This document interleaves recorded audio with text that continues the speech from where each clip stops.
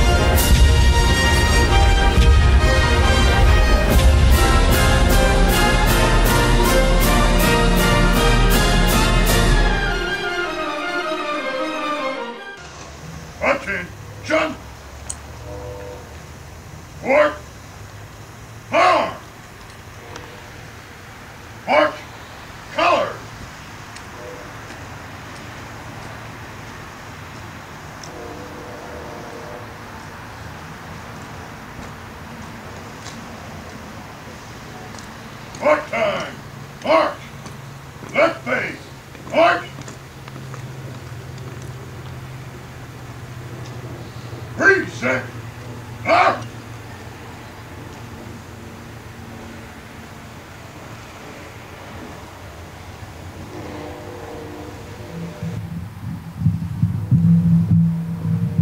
Oh,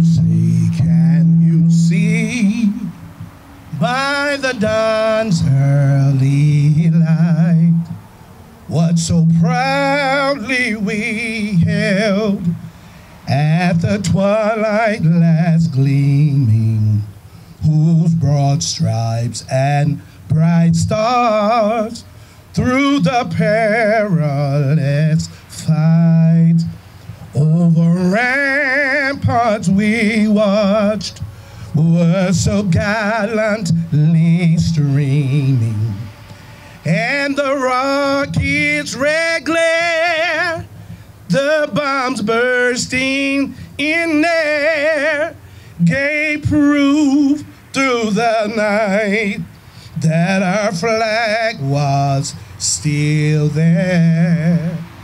Oh, say does that star spangled banner yet wave o'er the land of the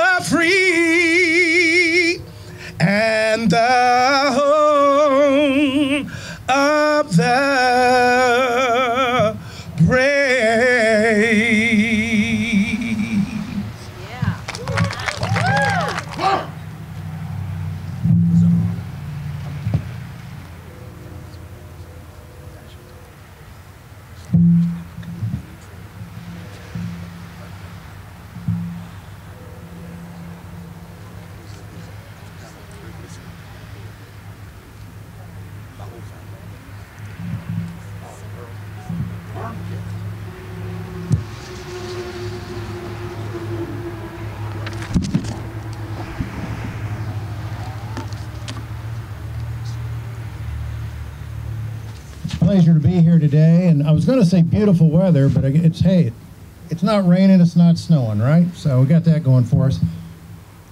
It's always a proud moment to be able to come here and participate uh, in this stand down.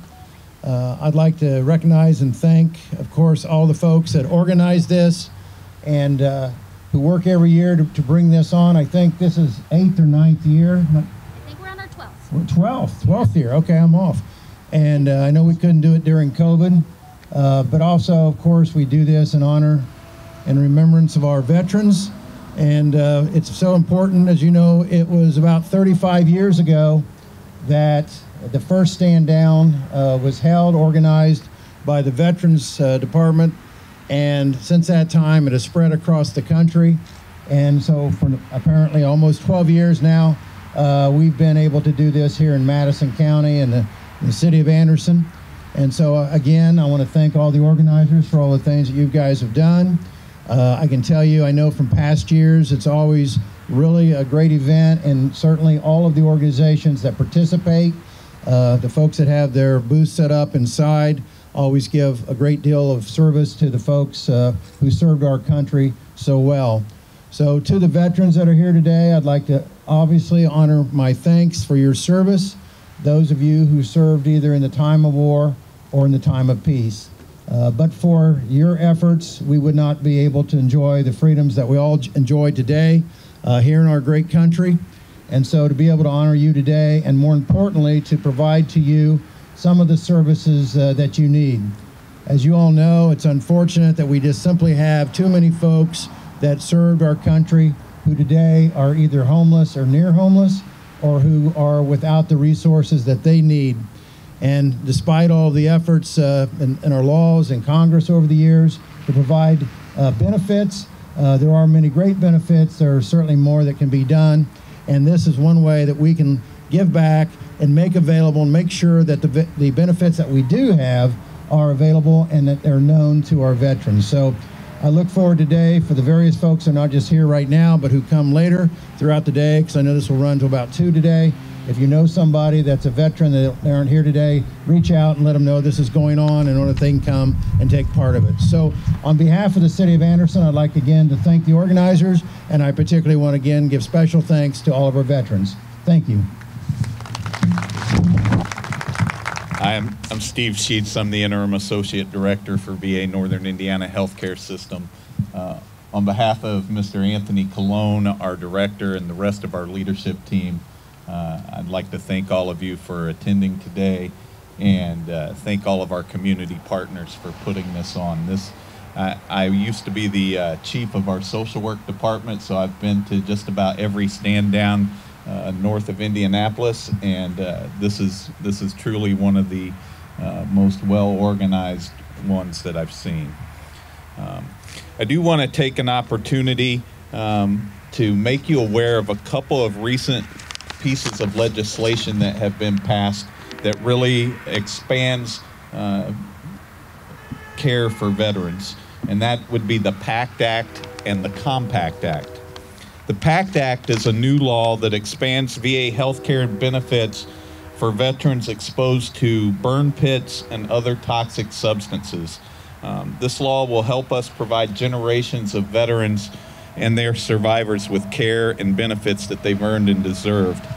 And, and basically, it expands and extends eligibility for VA health care for veterans with toxic exposures, and that includes open burn pits, Gulf related exposures, Agent Orange, uh, radiation, Camp Lejeune, uh, contaminated water exposure, and, and other exposures. I, I, would just like to encourage you if you're if you're already enrolled or if you've been told you don't qualify for VA health care in the past, um, please contact us and, and get a toxic exposure screening. Uh, it really has expanded the eligibility for several uh, veterans, so I would like to encourage you to take part in that screening.